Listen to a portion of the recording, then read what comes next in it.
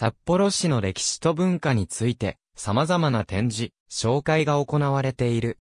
刑事法廷の展示1973年11月3日に開館した。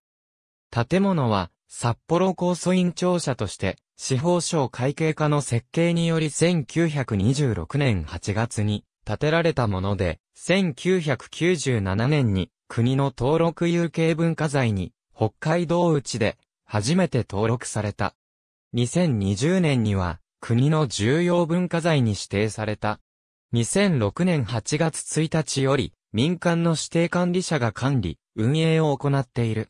裁判所の移転を受けてその建物を利用して開館した。大通公園の西に隣接し、東端の札幌テレビ塔に対し、東西に長い公園の西を締めくくる位置にある。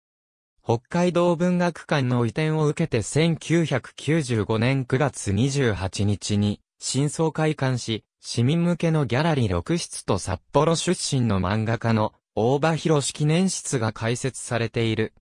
札幌市文化資料室の移転後に内部が大幅に改装され、2006年11月3日に大正時代の高訴院の法廷が復元されて公開された。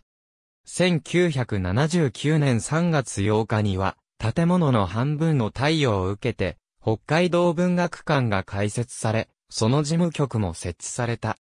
1984年11月3日に札幌出身の作家の船山薫記念室が新たに開設され、さらに1985年4月には札幌市にゆかりのある作家の資料を集めて、札幌文学展示室が開設されるなど、文学関連の資料、展示がかつては豊富であった。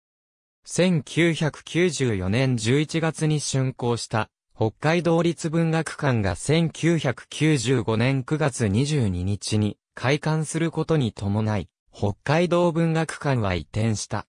船山薫記念室、札幌文学展示室は、北海道立文学館の開館後も存続したが、1997年4月の一部リニューアルに伴い廃止となった。1977年11月3日に札幌市考古資料室が開設されたが、2006年4月には札幌市文化資料室として旧放水小学校跡へ拡張する形で移転している。高祖院時代の写真現在札幌市資料館がある建物は函館から移転して設けられた札幌高祖院のために1924年に建築が始まり2年後に完成した。途中、財政難と関東大震災によって規模を縮小する設計変更を余儀なくされた。下部構造は鉄筋コンクリートで上にレンガを積み、外壁に札幌南石を用いている。札幌高訴院が戦後に札幌高等裁判所になっても用いられた。札幌南石は戦前には主に装飾用に盛んに用いられたが、戦後には石資源の枯渇もあって、採石はほとんどされなくなった。札幌南石の建築物は建て替えとともに消えていき、今では数えるほどしか残っていない。札幌市資料館の建物は、1997年5月に国の登録有形文化財に登録された。2020年12月には、旧札幌高訴院、庁舎一等不問日所として国の重要文化財に指定された。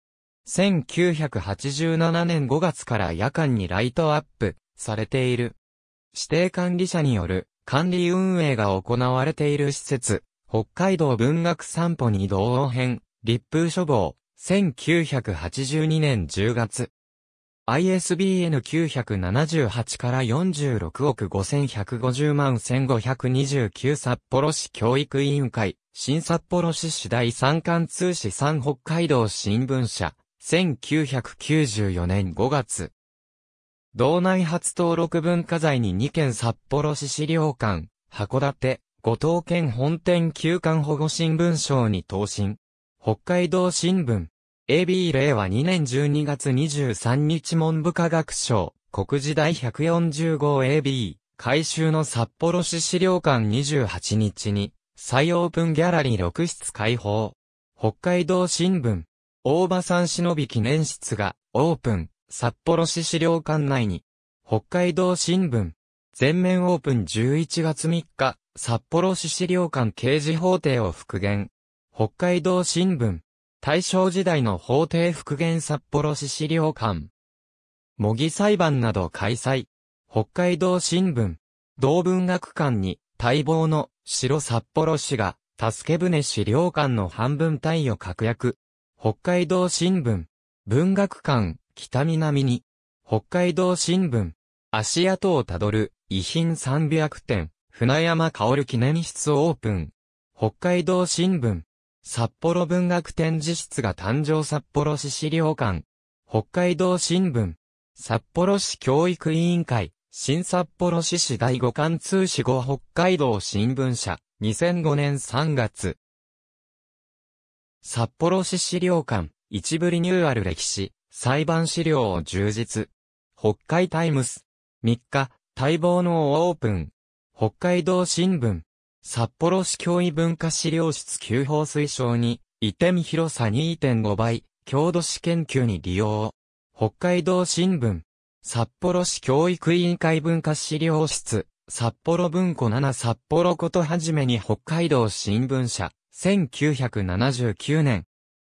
空に、くっきり資料館、札幌4番目の夜間照明点灯。